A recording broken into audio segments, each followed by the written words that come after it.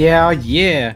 Welcome to a fresh new episode of the Fitness Avengers, where we where we fight fat, frustration, and fitness fakes. I'm your host, NASM Master Trainer Tony Ariola from TotalBodyProject.com, and I'm on a personal mission to simplify fitness for you. Now, there's this question I get asked a lot: Which exercises should I do? Seems like a pretty fair question. I mean, I'm a trainer, so that's all I do. But what if I told you that most exercises you don't even need to worry about. They're actually pointless. Yeah, yeah. Imagine that. this week, I'm going to cover the best and worst exercises for you to do to get the results that you want. I'm going to go over mechanics. I'm going to go over how to start your program. Uh, and we're going to have our very first ever exercise spotlight. So I'm pretty excited about that. Got some new technology I've been kind of working on. So hopefully it'll help you under, uh, really understand what exercises you should be doing and what exercises you can just kind of eh. Now, why I got in this exercise kick? Well, back in college, back in my back in my younger years, um, when I just graduated college. Let's call it last year, right? So I'm back when I was like 22 years old. it was long, long time ago. I was getting ready for uh, spring break. You know, spring break, you run around like, ah, spring break. spring break, and I wanted to have washboard abs like every other child in America.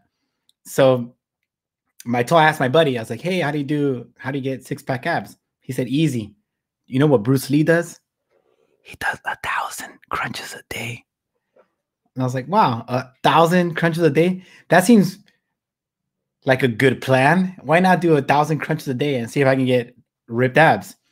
Uh, obviously that didn't work. Uh, it, it hurt my stomach a lot. It was hard to get up to a thousand, and I still look chubby, but my stomach hurt a lot. So then that got me on the whole like, what do people actually know about exercises and which ones actually matter?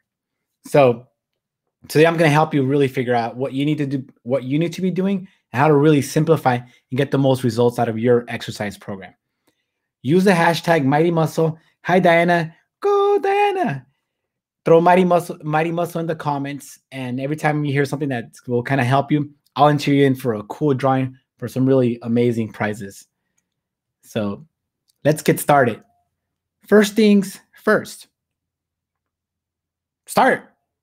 I know there's been a lot of content delivered this you know this you know the last six weeks on this quarantine. I think we're on day 42 I, i'm not sure uh, it feels like years. I don't even remember the last time I went outside or I did anything that was even remotely normal. Did you know that you guys used to be able to go into a, like a room and watch a movie? Like that they, I don't, I don't, maybe I was just dreaming that, but it's been a long time and there's a lot of content out there. People doing like Zumba dances and there's like classes and people are streaming all these things. But what a lot of people are not doing, which is kind of sad, is they're not starting.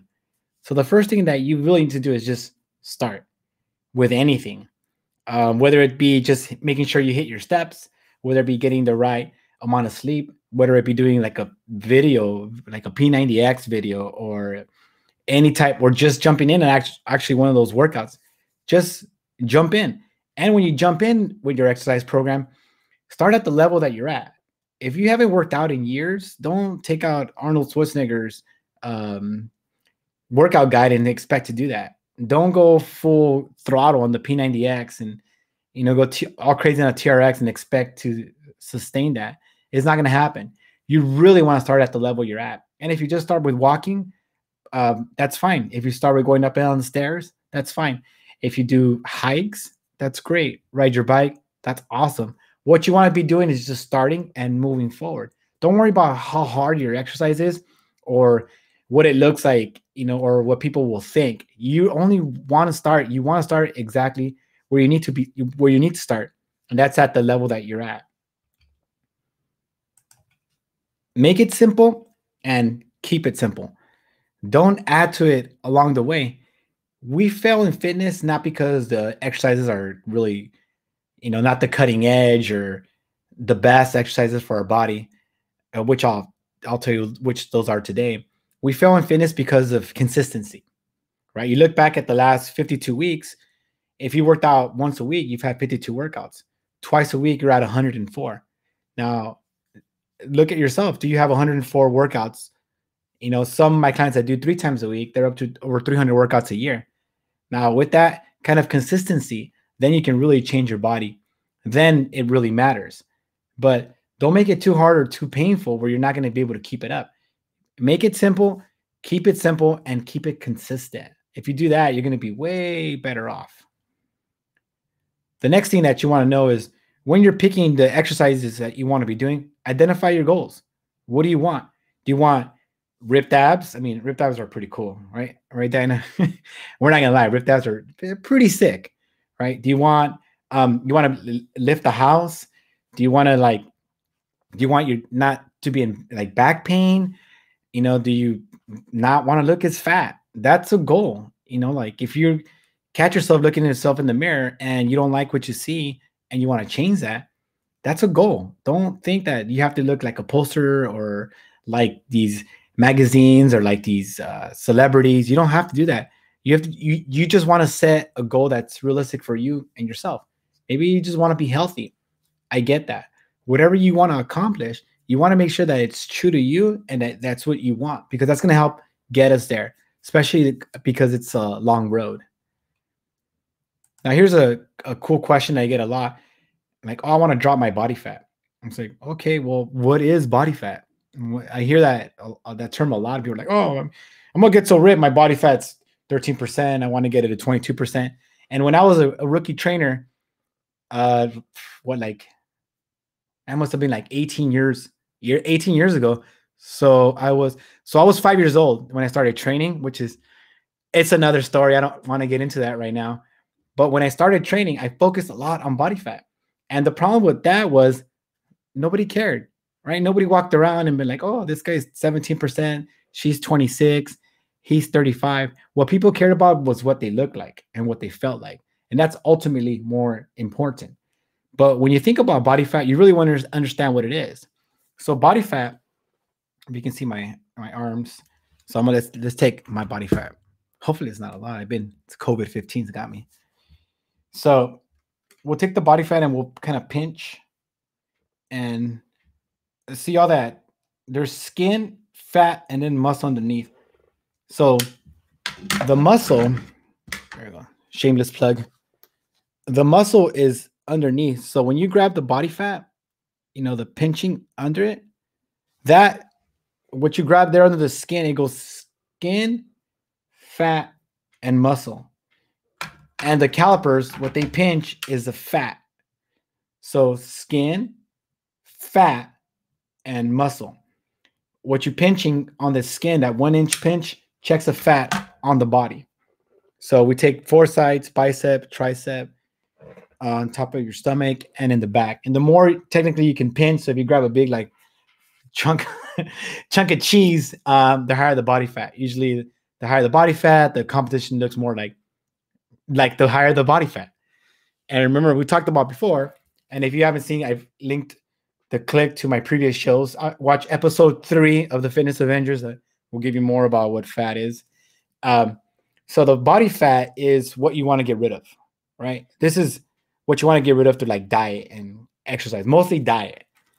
The muscle, because oh no, I'm blurry. the muscle is a lot looks a lot different. So muscle has uh, mechanoreceptors. It's got it's got um, uh, different. It connects to your central nervous system. So it's got a lot more things going on. You can contract it. So muscle, and it's a lot more dense. There's more to it. So it's a lot harder to build muscle than it is to drop fat. So if you're talking about changing the composition of your body, most people refer to that as dropping fat.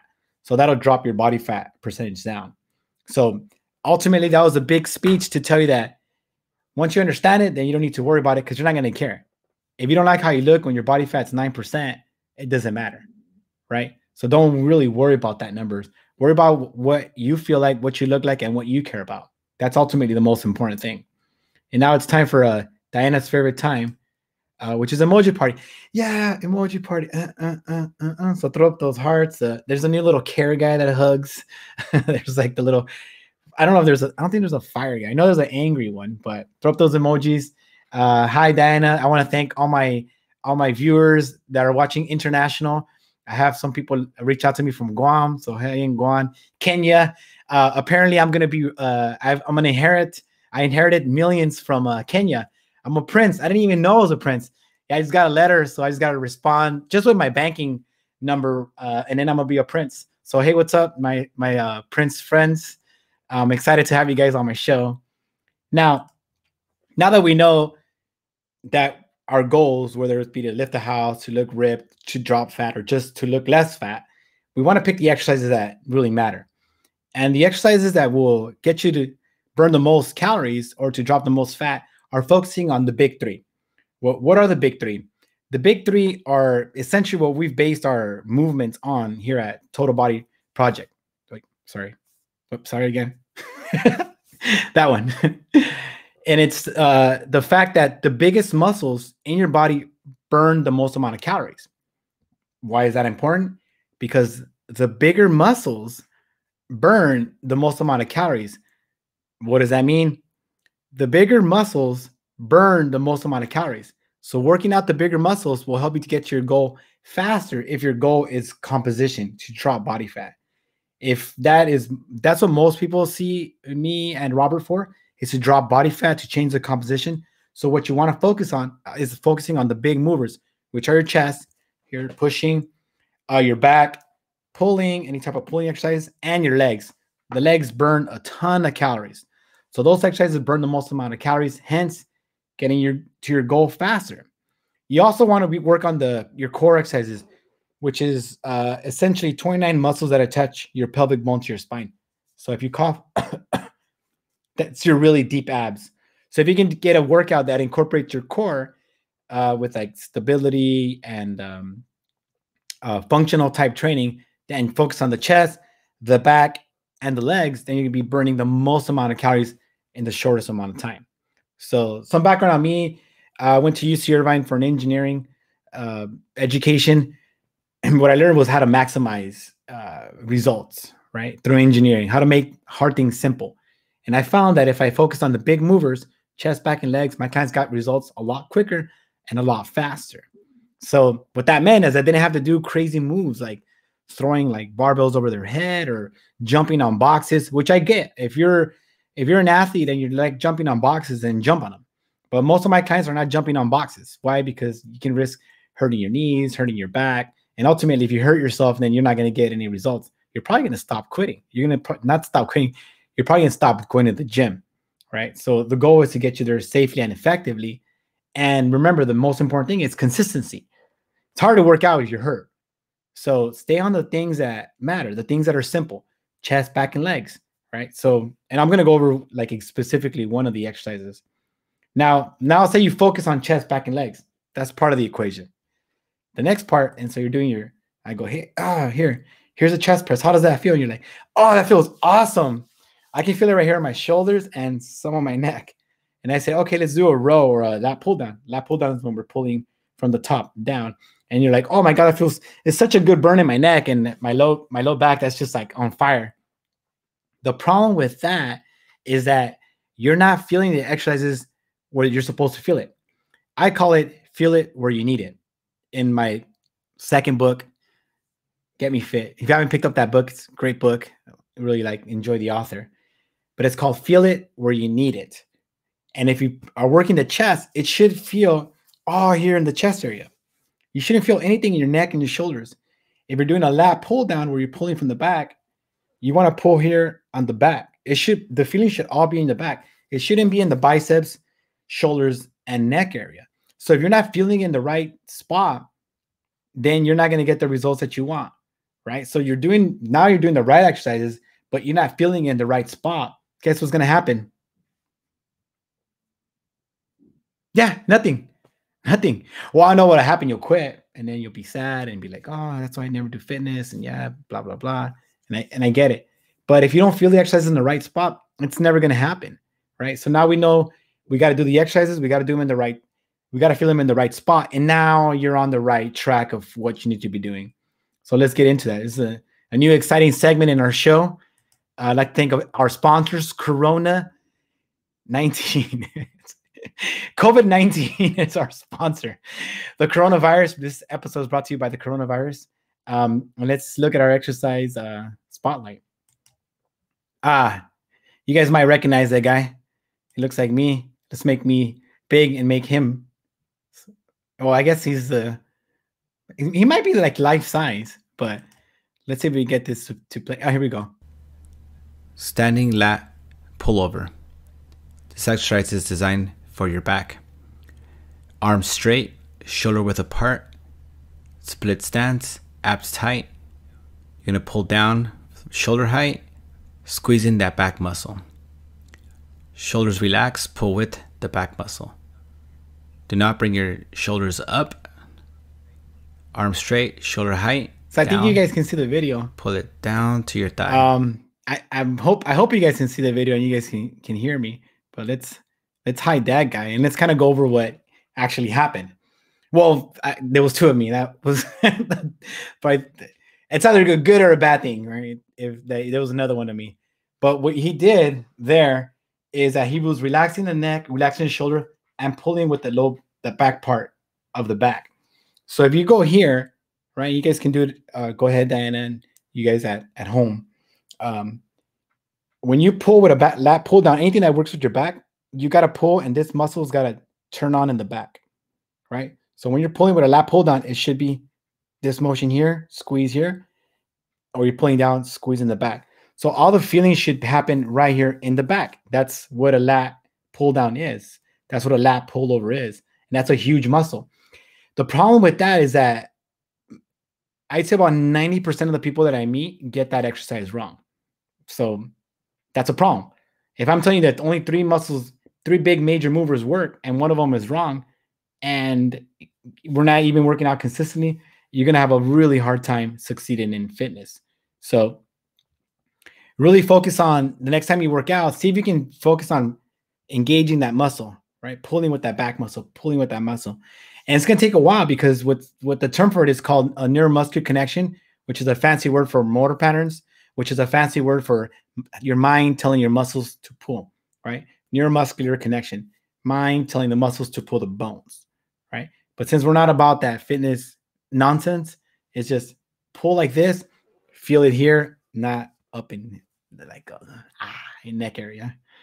Um, and here we go. We got a special ask the trainer today.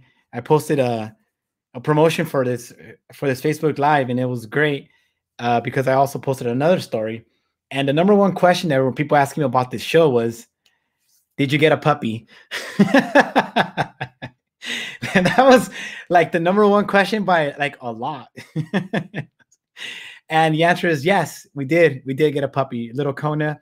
I don't have a picture of her now because uh, I'm new to this technology and I can only replicate small pe- uh, small images of myself doing exercises. I have not gotten to to puppies yet.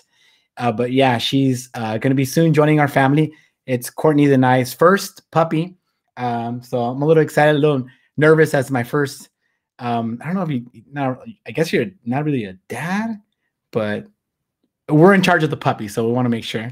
Um, luckily, there was another question on fitness. So, um, and this one is coming live. This one is from looks like from from far away.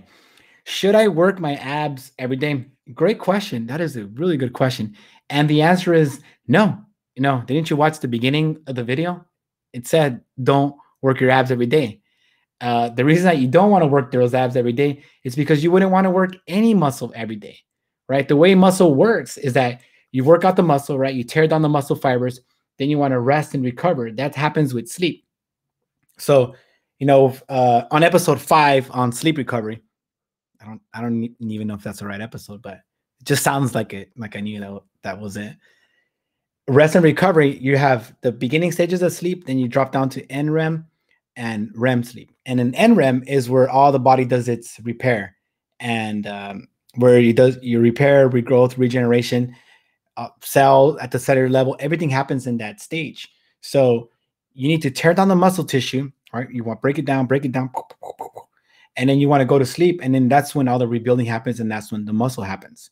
So tearing down the muscle consistently doesn't give that muscle a chance to recover and it doesn't give it a chance to build. So you're really defeating the purpose of of trying to build that muscle. So the best thing you can do um, from super far away land where you're at is split up your body body parts. So if you're doing like, you know, like uh, chest one day, you might want to do back the next day or legs the other day. Or if you're running one day, you probably don't want to run the next day. You might, might want to do a bike or spread it out. Usually, if you're sore in that muscle group, you don't want to work that muscle group again because you're going to be sore and you might do more damage than good. So hopefully, I answered your question. Um, like I said, if you guys um, are enjoying the content, uh, are getting a lot of benefit on here, and want to up this and get more more content, then join our group, the Fitness Avengers, where we, we're fighting fat, frustration, and you know all those fitness fakes out there. There's a lot of them out there now, but. Uh, thank you guys for tuning in on IGTV, on YouTube, on Facebook Live. Uh, thank you so much, Diana. Uh, it means the world for me to jump on. If you're watching on the replay, go ahead and comment. I go on there and answer every question. Go ahead, keep sending me message on the private messenger. I respond to everyone's single comment, whatever stuff that you need.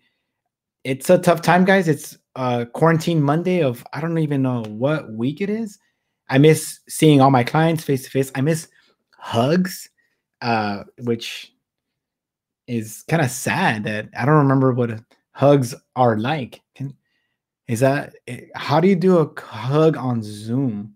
But once we get back to normal, we will get back to normal. I'm excited to, you know, get back to work with all my clients. And for you guys that are stuck at home and, you know, I've had a, people reach out to me with they're struggling with fitness. Just, I know right now it's right now is not the time to excel. You're just not going to hit a home run. You know, I have yet to see somebody. That, oh, and then I got locked up with all my snacks and and I'm not working out, and now I'm super fit that hasn't happened yet. Okay. And I'm telling you, because I'm in there with all the fitness guys, that's not happening. What is happening is that you can do something to kind of stop the bleeding, stop the damage, and really not give yourself too much homework to do at the backside. So, you know, put the wine down, put the coronas aside, uh, put don't have so many slices of pizza, get away from the snacks, close the snack cupboard, go off for a walk, um, get to bed on time, drink your water, do things that that are to make you feel good because your health and fitness matter. It's who you are. Ultimately, no matter what, it's who you are. And when you do what's right for your health, for your body, and for your mind, you're going to feel better. And you're going to feel better. Once you feel better, then life just has a lot more value. Don't let this virus just ruin your whole like make this a void. You know, fight, fight for your health, fight for your fitness, and so that way you won't come out of this thing with just like a boatload of problems. So thank you for tuning for tuning in. You're the reason I exist. Again, my name is Tony Ariola, NASM Master Trainer uh, with TotalBodyProject.com. Please like, share, subscribe. And next week, I'll be talking about back pains and how to get rid of back pain. So if your back hurts, which if you're sitting down, it probably does, tune in next week and I'll show you guys the stretches that you need to be doing to help get rid of that. Okay. And I'll see you on the skinny side. Cue the music. Mm-mm-mm. Oh, ding, ding, ding, ding, ding. Oh, now you can see it. Hey, what? It's dark. That's what happens with live TV. It's dark sometimes.